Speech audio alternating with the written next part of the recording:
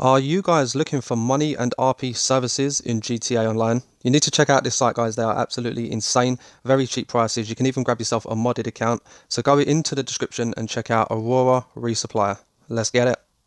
What's up, guys? Welcome back to the channel. Thank you for clicking on the video. So in this video, I'm going to just be going over selling vehicles in GTA Online, losing your custom plates. Now, me as you can see in this video, I can sell vehicles no problem.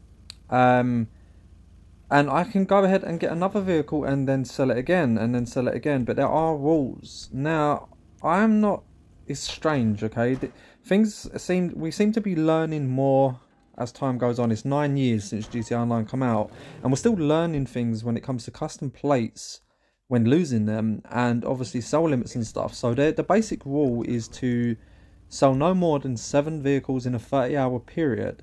Now, sell one vehicle with one hour in between selling, or you can sell two vehicles with two hours in between selling. After your seventh sale of the day, you need to calculate real 30 hours later and sell again.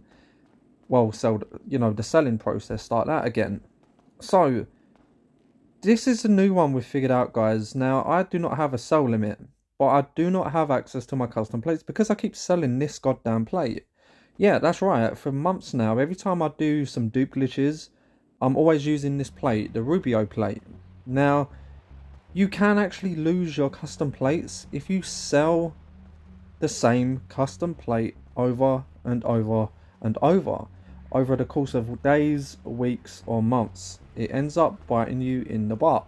And that is what's happened to me. Now, I don't have a sell limit I can sell 7 vehicles every 30 hours, but I do not have access to my custom plates, and that for that reason, it's frustrating. And the reason for it is because I'm selling dupes and cars with the same custom plate. So eventually, you can actually make a custom plate a dirty custom plate, and to prevent that, guys, just simply change up your custom plates. Every time you sell a vehicle use one of your different custom plates.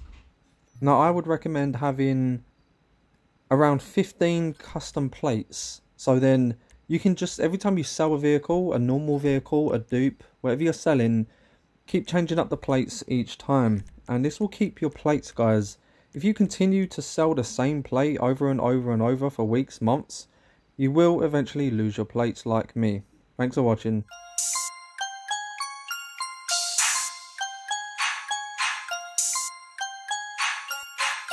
Some boy did